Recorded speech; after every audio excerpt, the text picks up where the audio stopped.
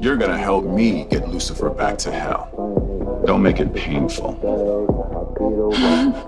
You forget.